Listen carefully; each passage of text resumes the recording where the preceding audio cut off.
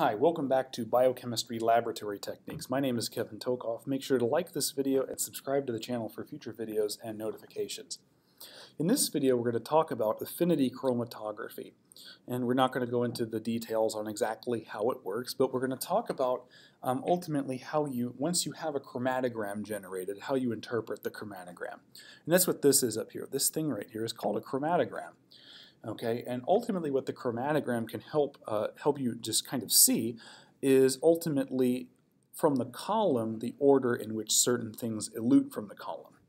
Okay. Before we go into too much detail on that, I will say there's this is uh, part of a two-part video. In the uh, next video, we're, we're going to show I'm going to show you how to ultimately generate something like this from data. Okay, it's actually not too terribly difficult. It requires Microsoft Excel or a um, a, another uh, kind of program like that, but we'll show you how to do that. So what is basically affinity chromatography? Affinity chromatography is based on the principle that certain proteins usually um, have different affinities or bioaffinities for biomolecules. Okay, so for example, if you have an enzyme, we'll get, just give you an example. If you have an enzyme such as hexokinase, may not have gotten to that yet, that's an enzyme in glycolysis. Um, hexokinase has an affinity for the molecule ATP. Lots of other proteins do, but um, hexokinase in particular will bind ATP. It's one of the substrates of its reaction. So if you wanted to, um, to have a column that bound hexokinase, then you should theoretically have something attached to the column that resembles ATP. Okay, hopefully that makes sense. Um, if you're do if you're trying if you're doing affinity chromatography on lactate dehydrogenase, another enzyme, its substrate is NAD, um, a coenzyme. So if you wanted to bind NAD into a column through chromatography, you may wish to have an analog of NAD to, to which it can stick onto. Okay, so the basis of affinity is that um, it's usually something that a protein likes often a substrate or a coenzyme, and you want something in the walls of the column that resembles that molecule so that in theory the protein that you want will stick onto it. Okay, so hopefully that makes sense. So a very abstract example over here is let's suppose this molecule right here, it's like a pink circle with a little bar sticking off, right? And let's say this thing right here is the normal substrate or coenzyme of some enzyme. This blue thing is the enzyme. I tried to indicate an active site on it. You can kind of see how the active site kind of fits around uh, this substrate, right? And this is the normal substrate. Now suppose you wanted to do affinity chromatography on this enzyme, right? Well, then in theory, you'd want something like this. Notice, this looks like the normal substrate, but I actually tried to indicate that this thing sticking off looked a little bit different than it did over here. So it resembles it. It's not exactly it, and so what we call that is an analog. This is what's called an analog, okay, of the original substrate. And if it's similar enough, then this enzyme, or if it's another kind of protein, whatever, it will bind onto this molecule. It won't catalyze a reaction necessarily, it won't, I mean it's not the actual substrate, but it will at least stick onto it, okay? The other basis of affinity, chrom affinity chromatography is if this thing is not the substrate of an enzyme, then that enzyme won't have any incentive to stick on it and it'll just fall through the column, basically. Okay, but any protein that would normally bind this molecule may stick onto this. Okay, so in other words, if you think about the column, you think about what should happen. If you have a bunch of, if you have some proteins that like this molecule, they should stick onto it in the column, right? They should stick onto it. And you wouldn't expect them to elute very easily from the column. But if you, and then you have other proteins that don't like this molecule, it's not their substrate, and they just kind of fall through the column. You would expect those proteins to elute first. And then any protein that likes this molecule and sticks onto it in the column, you might expect to elute last. And that's actually what we, that's exactly what we observe, okay? Let's look at a, a specific example, not just an abstract picture, but a, a specific example of how um, affinity chromatography works at a molecular level. All right, so this over here, this is actually um, the column of one of the affinity columns you can set up. Um, notice that this nitrogen has some carboxyl sticking off. They have a negative charge. And then there's a nickel um, cation right here, nickel in the 2 plus oxidation state. Notice these negative charges can interact and bind the nickel because they're opposite in charge. And then here's a protein maybe that's of interest. And a lot of times what you can do is you can stick, um, you can modify a protein to where it possesses a histidine tag, and it usually has six histidines, although I've only indicated two for simplicity. And histidine's R group has a nitrogen right here that can actually, um, through electrostatic interactions, also bind onto the nickel from the other side. So it's sort of one of these things where you have this protein and these histidines. The protein is attached to the nickel, which is attached to the carboxyls, which is attached to the column. So, you know, by transference, the protein is now stuck on the column through this, um, this blend of interactions right here. The protein stuck on there. If the protein doesn't have this tag on it, then it doesn't stick to the nickel and it should just come through. All right. So this protein right here, whatever it is, you should expect to probably elute last. And if it doesn't have this, or nothing that even closely resembles it, it should probably elute first. By the way, this kind of um, chromatography, this is called nickel affinity. Just some side piece of information. All right. So let's go up to the chromatogram. All right. So the chromatogram basically is a plot um, usually of absorbance. There are other ways you can measure um, if a protein is um, uh, measure proteins that come out in solution from the from the chromatography column. It's just that absorbance is one of the most common ways to do it, so we're going to stick with absorbance. Here on the x-axis, we have the fraction number. Now, your professor will probably go into more detail on what the fraction number is, but suffice it to say, when the protein solutions elute from the column, you basically catch them in kind of a test tube kind of thing.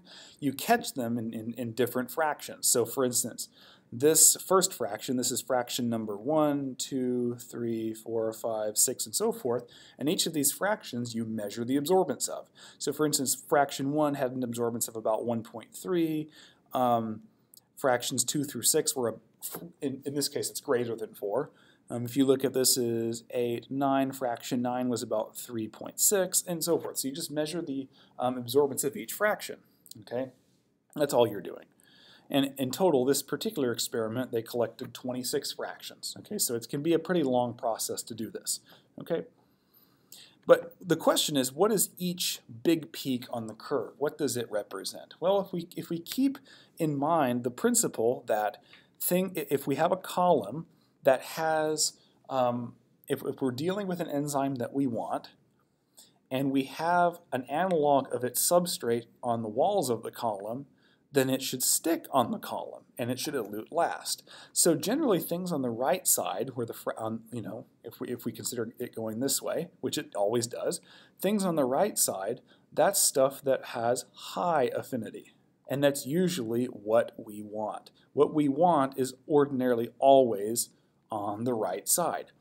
Things that have no affinity, or we could say low affinity, these things are on the left side. And so as we go from left to right, it tends the tendency is for is there, for there to be higher and higher affinity. All right. So whenever you do an affinity chromatogram, and you can Google pictures of this and you'll see the same thing, you generally have this region up here on the left side that is um, very broad and it has a lot of absorbance. Okay, what is that? This is what we call the non-binding region.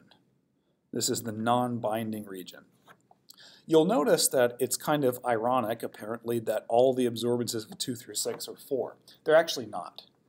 In reality, the absorbances are probably really, really high. It probably goes off of the screen quite a bit. The reason that it indicates 4 is because, in this case, the spectrophotometer that was used had a maximum absorbance of 4. But the reason that the absorbance is so high here is that the percentage of proteins that have a high affinity over here on the right side is very, very, very, very low. The percentage of proteins that have little or no affinity are exceptionally high. In fact, the ratio might be if you just if you this if this was one of your first purification steps, you might have a ratio of like 98% over here and 2% over on the right side. So you have a ton of proteins that are non-binding. So that's why the absorbance is crazy. It could be even as much as 20 in reality, but it's just that the instrument can't read that high. So these proteins don't bind to the column for example, if it was this enzyme over here, they're not binding to this you know, analog, so they just come through. And so they're not binding, so they elute first. So I would say basically anything in this region over here, this is the non-binding region, okay? Non-binding, so they come through first. And there's a lot of them that do that, okay? Now, you know, I made it seem maybe like the protein either has really high affinity or no affinity. Well, there are certain cases where some proteins can have an intermediate affinity. All right, they have an intermediate affinity. Okay, so they still stick on, but nowhere, nowhere as nowhere near as close as this protein right here. Okay, they don't stick on that tightly, but they do stick on there. And so when you run it through the column, they'll stick a little bit, but they'll stick enough to where they don't come out in this non-binding region. So what you have to do is apply a wash, and you do it with a wash buffer generally. So what the wash buffer does is anything that has moderate or intermediate affinity for the column, it washes all that stuff out. But the wash buffer is not strong enough to elute the protein of interest. This guy in here really sticks on the analog. So you apply the wash buffer on this and you're never going to elute this protein because the wash buffer is, is it, it sort of is like an elution buffer, but it's not very strong. Okay, It's not strong enough to elute the protein of interest. Um, it's just, it's kind of a weak one, but it's enough to elute all this stuff. So basically this stuff right here, that stuff, this stuff right there, these are um, ultimately not of interest. These are not of interest. These are proteins that may have had some affinity for the column, but they're really not what we want, okay? They're not this protein, which happens to be this one. This is the one we want right here. That's the one we want. Um, they, they don't bind as strong as this. They don't bind as strong as this protein. So the wash buffer is weak, but it's strong enough to knock these out of the column. Okay, And in the wash buffer region, which is um, ultimately where this shaded in blue is, you can have different strengths of wash buffer, but the key is that they're nowhere near as strong as the elution buffer. Okay, so you use the wash buffer, you get rid of this stuff. So this is um, this is not the protein we want. Okay, this is not the protein we want. And so once we wash all of that stuff out, we're ready to elute. So we're pretty confident that most of the stuff has left, and now all we're left with is the protein of interest, which in this case is this guy right here. Now this enzyme binds very tightly to the analog on the wall of the column. So we need something relatively strong to knock it out, and that's why we use an elution buffer. Now, the elution buffer is typically buffered with the same buffering species as the wash buffer because you don't, generally when you're doing an experiment like this, you don't change the buffer. That's not good for the system. You keep the buffer the same, but generally what the elution buffer has is it has sodium chloride or some other salt. You may have heard of a technique called salting out. Okay, What salting out does is salt has charge. When you put this in water, this becomes sodium cation and chloride anion, okay, because they're soluble. So when you stick this in water, it does two things. Number one, it drastically, because it's usually pretty highly concentrated, drastically increases the ionic strength of the solution running through the column. So because you're adding all these ions, the ionic strength goes way up. But what that does is these ions actually compete with this protein right here. They compete, and they actually break the interaction between the protein active site and the analog. The way to think about it is to look at this nickel affinity right here. So you say this nickel right here is positively charged, so it likes negative charges. Well, if, you, if your salt that you were salting out with in the elution buffer was sodium chloride, then you'd say, well, maybe the chlorides, they're negatively charged, maybe they would like to stick on the nickel, right? they would like to stick on the nickel. So now there's less positive charge to interact with the imidazole nitrogens of the histidine of the protein of interest, but there's also sodium ions. So maybe the sodium um, may be interested in these nitrogens. The sodium likes to interact with these and so forth. And ultimately, because now the sodium and the chloride ions are competing um, with the nickel and the imidazole nitrogens of the histidine, the protein now just falls off. Okay, and it's all due to competition with the stationary phase, okay, which is this thing right here on the column. Okay, the chlorides stick on the nickel, and now the, the protein can't stick on the nickel because the chlorides bind stronger. And this technique is called salting out. And you don't have to have a situation like this. This is just for nickel affinity um, chromatography, which is affinity. Okay, but in general, for every anytime you use affinity chromatography, salting out is what you use as the final step in the elution buffer. Okay, and because it's buffered and you have this um, sodium chloride for salting out, it's considered the strongest of all the um, washes slash elutions that you do, and it's enough to cause the protein of interest to elute. Okay, um, and so the protein of interest is all, oops, is all of this in here generally. Okay, and so if you were trying to purify the protein, what you're going to want to do is look at these fractions, and I would probably venture to say on this one the most prominent fractions would be 21, 22, and 23. Those are probably the most. I would take those fractions and I would just collect them and discard everything else. Okay, now I would have to be sure that the protein of interest was in here, right? And the way I could do that is I could test it somehow. Okay, maybe the protein that I'm interested in has some other property, a very unique or distinct property that I could measure. If it does, I can just measure that and test to see whether that protein is in these three fractions. If it is, then I'm going to collect these three, combine them, or pool them, then everything else is just garbage. Get rid of it. These are non-binding proteins. That's not your interest. You just discard those. These in the middle of the wash, those are also not your interest. Get rid of those and only keep the protein that you want. Okay?